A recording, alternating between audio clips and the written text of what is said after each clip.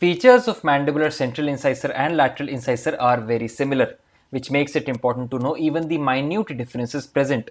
Some general features to begin with. Mandibular central incisor is the first tooth from the midline and lateral incisor is the second tooth from the midline. This difference in position changes their tooth numbers in various tooth numbering systems.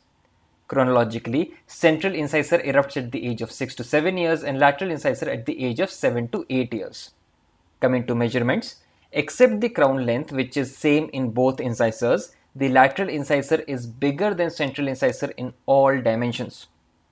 Now let us study the differences in morphology from each aspect starting with the labial aspect.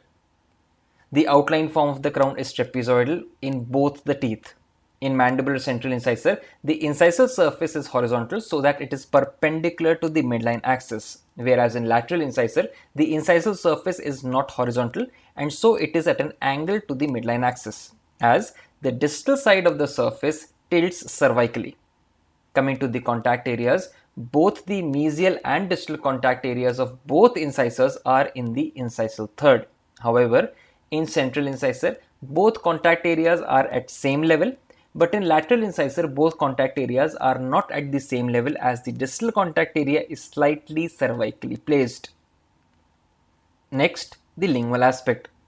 The difference in features from labial aspect are same from the lingual aspect as well. Next, the mesial aspect there are no differences in the morphological features of central incisor and lateral incisor. Next, distal aspect.